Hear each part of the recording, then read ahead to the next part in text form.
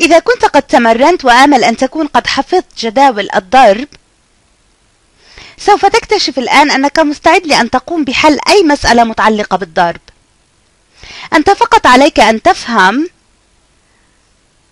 أو لكي أقولها بشكل أفضل أن تفهم كيفية نظام الحل. أنا لن أقوم فقط بتعليمك مبدأ الحل لكن أريد أن أريكم سبب نجاح هذا. إذا لنبدأ مع مسألة ضرب. والتي أفترض بأنك لا تعرف كيفية التعامل معها لنقل ستة عشر ضرب تسعة ستة عشر ضرب تسعة وربما ستقول بأنك لم تقم بحفظ جدول الستة عشر. لكن لا تقلق سوف أحل المسألة وسوف تستطيع أنت أيضا القيام بذلك. ذلك لأننا سنقسمها إلى عدة مسائل بحيث تعرف أنت كيفية الحل. طريقة حل المسألة أولا هي أن تضرب تسعة في منزلة الآحاد تسعة ضرب ستة. وأعتقد أنك تعرف ما هو الناتج. سأكتب الناتج هنا. تسعة ضرب ستة يساوي أربع وخمسون. أنت تعرف الناتج من خلال جداول الضرب وكل ما عليك فعله هو كتابة 54 لكن ما قمت بعمله هنا هو أنني كتبت أربعة في منزلة الآحاد فقط وسأقوم بوضع خمسة في اليد. وهذا هو بالضبط ما عليك فعله. نحن أيضا نستخدم مصطلح في اليد دلالة على أننا سنجمع لكن ما معناه أن لدينا خمسة سنتعامل معها آه، والآن سنحتفظ بها. لأنه لا يوجد مصطلح آخر للتعبير عن ما نقوم به. الآن نضرب تسعة ضرب واحد. تسعة ضرب واحد هذا سؤال مباشر. تسعة ضرب واحد يساوي تسعة. أي عدد نضربه بواحد يعطينا آه، العدد نفسه لكن لدينا هذه الخمسة التي أحتفظ بها.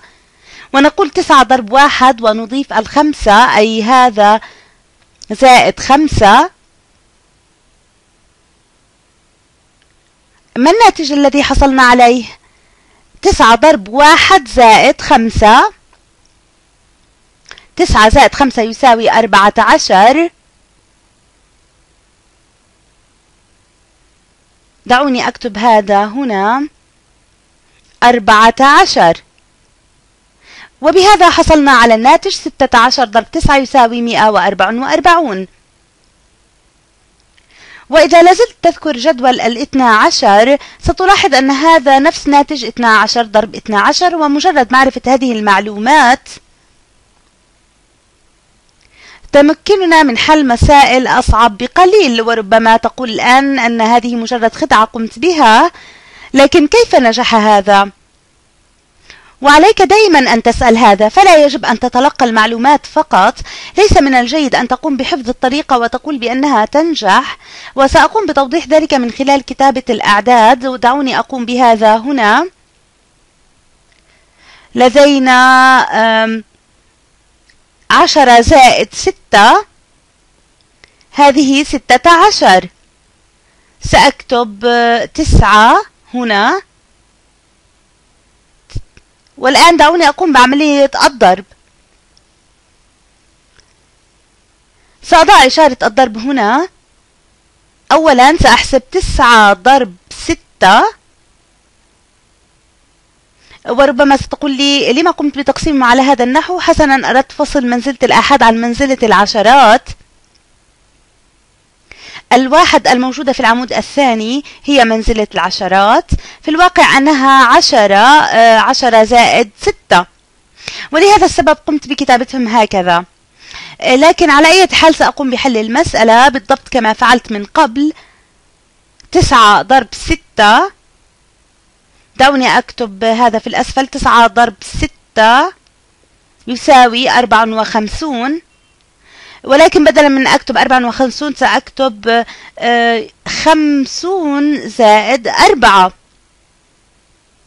إذا تسعة ضرب ستة يساوي خمسون زائد أربعة. هذا عمود الآحاد. دعوني أضع خطا متقطعا هنا. وهذا هو عمود الآحاد وأستطيع أن أضع أربعة في الأسفل لكن أحتاج لفعل شيء مع الخمسين. يجب وضعها في مكان ما والطريقة التي علمتكم إياها هو أن نضع الخمسين في الأعلى ولم يسبق لي أن وضعت الخمسين هنا في الأسفل وربما أنت تذكر الخمسين ستذهب إلى هذا العمود. إذا نضعها هنا. هذا ما فعلناه في العرض الأول. سأكتب خمسة. في العرض السابق لقد قمت بوضع خمسة هنا. لأنها كانت في منزلة العشرات لكن الخمسة هنا تعني خمسين والواحد يعني عشرة. لكن الآن سأكتبها خارجا حيث سترون أنها حقا خمسين وعشرة. ومن ثم نقول ما هو حاصل تسعة ضرب عشرة؟ تسعة ضرب عشرة.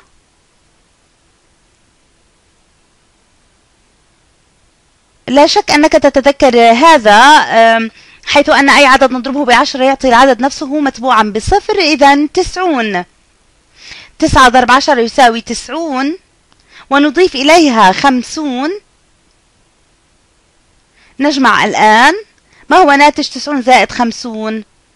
مئة وأربعون.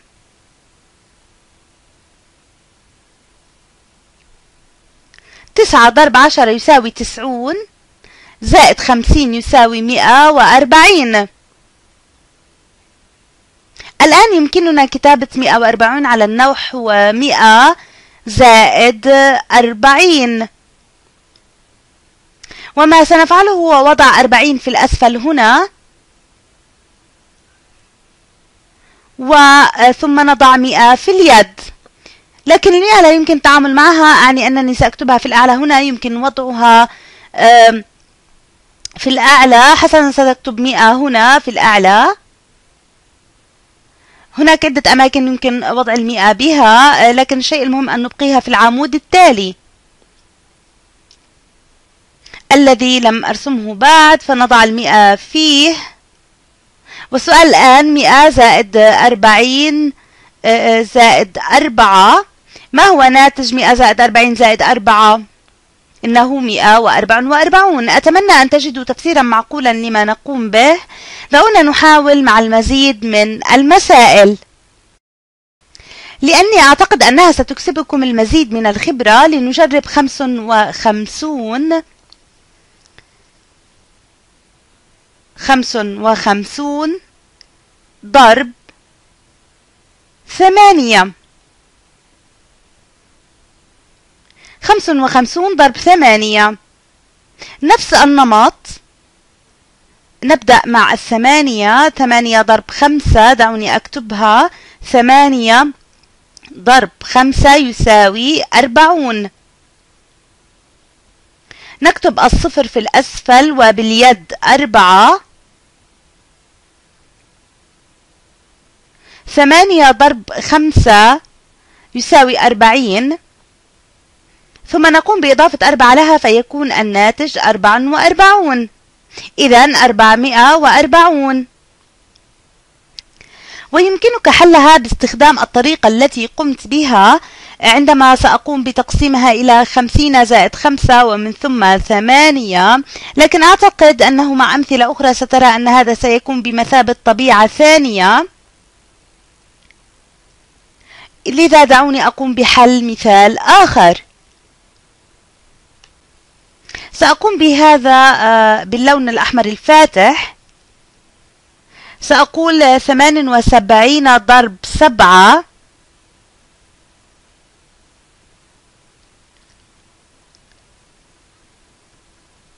آه، ثمانية ضرب سبعة آه، ثمانية ضرب سبعة يساوي ست وخمسون. دعوني أكتب هذا إنها مسألة من نوع آخر. ثمانية ضرب سبعة يساوي ست وخمسون. نكتب ستة في الأسفل ونضع خمسة في الأعلى. سبعة ضرب سبعة يساوي تسع وأربعون.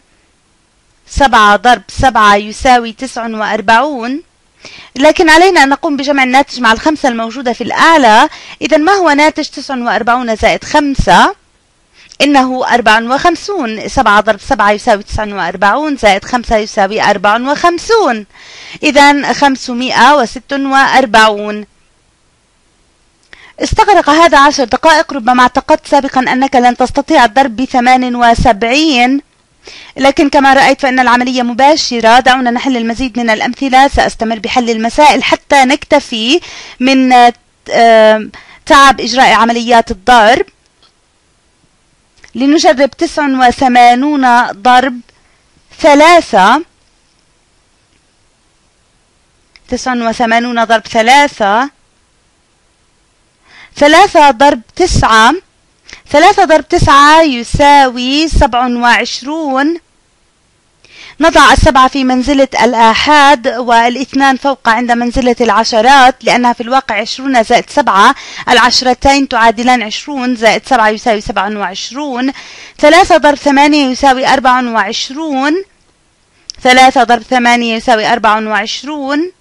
لكن أملك اثنان في اليد سأقوم بإضافتها إلى الناتج فأحصل على ست وعشرون. ثلاثة ضرب ثمانية أربعة وعشرون زائد اثنان ست وعشرون. إذا الناتج النهائي 267 سأقوم بحل مسألة أخرى لكي آه، آه، نتمرن أكثر. علي أن أرفع هذا هذا سيجعل الحل مريحا. سأعمل على إراحتكم. إذا لنحل 239 ضرب 6 إذا 239 ضرب 6 هذا العرض سيكون عن كيفية ضرب عدد من منزلتين بعدد من منزلة واحدة لكن أريد أن أوضح لكم أنكم تستطيعون ضرب أي عدد من المنازل بعدد من منزلة واحدة. وهذا سيكون بنفس الطريقة ويمكنك آه، تخمين كيفية القيام بهذا مع حاصل 6 ضرب 9 دعوني أكتبه هنا 6 ضرب 9 لقد تعلمنا هذا مسبقا 54 إذا سأكتب أربعة في الأسفل والخمسة في منزلة العشرات لأنها في الواقع خمسون. آه هذا كاف. الآن سنقوم بستة ضرب ثلاثة.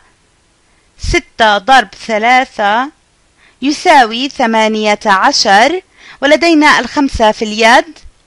إذا علينا إضافتها مع الناتج. 18 زائد 5 6 ضرب 3 يساوي 18 زائد 5 يساوي 23 آه للتوضيح لم نضرب 6 ضرب 3 آه أنا فقط آه إذا نظرتم إلى المسألة قمت ب الواقع ضربها بثلاثين لقد وضعت ثلاثة هنا. في الواقع هذه ستة ضرب ثلاثين زائد خمسين لأن تسع وثلاثون في الحقيقة هي ثلاثة في منزلة العشرات أي ثلاثين بالرغم أننا قلنا ستة ضرب ثلاثة يساوي ثمانية عشر زائد خمسة يساوي ثلاث وعشرون. في الواقع هذا العدد هو مئتان وثلاثون. لقد قمت بوضع ثلاثة في منزلة العشرات ودعوني أستخدم لون آخر. بدلا من التي استخدمته هنا في الأعلى هذا يساوي ثلاث وعشرون. يمكننا وضع ثلاثة في منزلة العشرات ووضع اثنان في الأعلى هنا. انتهينا تقريبا فقد بقي عملية ضرب واحدة. آه، ستة ضرب اثنان. ستة ضرب اثنان هذا سهل يساوي اثنا عشر ولكني أملك اثنان في اليد آه، وعلي جمعها مع الناتج. إذا زائد اثنان ماذا يكون الناتج؟ هذا يساوي اثنا عشر زائد اثنان يساوي أربعة عشر. إذا سأكتب أربعة آه، ستة ضرب اثنان يساوي اثنا عشر زائد اثنان يساوي أربعة عشر. سأكتب أربعة هنا. وإذا تبقى لدي أعداد سأكتب الواحد هنا ولكن لم يبقى لدي شيء إذا سأكتب الواحد هنا. إذا 239 ضرب 6 يساوي 1434 لنقوم بحل مثال آخر. وأريد الآن المزيد من المساحة. سأقوم بتصعيد الوضع الآن. سننتقل إلى عدد بأربع منازل. سبعة آلاف وثلاثمائة واثنان وستون ضرب سأختار عدد صعب ضرب تسعة. آه، تسعة ضرب اثنان.